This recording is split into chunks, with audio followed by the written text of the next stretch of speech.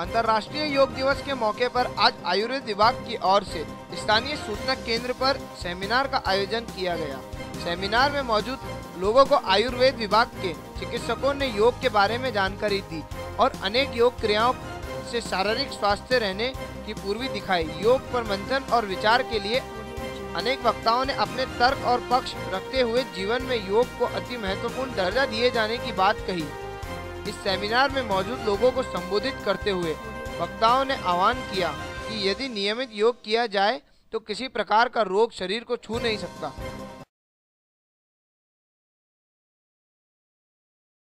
हाँ सर क्या कार्यक्रम आयोजित किया जा रहा है क्या? आज 21 जून 2017 को विश्व योग दिवस घोषित किया गया।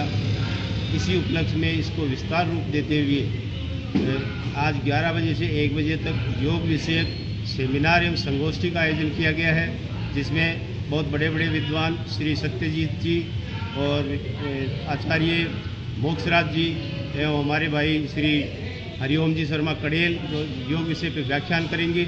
मैं बाबूलाल कुमावत सहायक जिला नोडल अधिकारी नोडल अधिकारी अजमेर। सर किस तरह के व्याख्यान दिए गए? योग क्या है और इसका स्वास्थ्य से क्या संबंध है? इस बारे में विस्तृत चर्चा की जाएगी। योग के बारे में जो कि अपने भारत की एक प्राचीन प्राचीन विद्या है, इसको विस्तार रूप से यहाँ आए हुए श्रोताओं को इसका लाभ दिया जाएगा। ये एक सेमिनार बहुत बड़ा रूप के, बहुत बड़े रूप के में चर्चा का विषय है।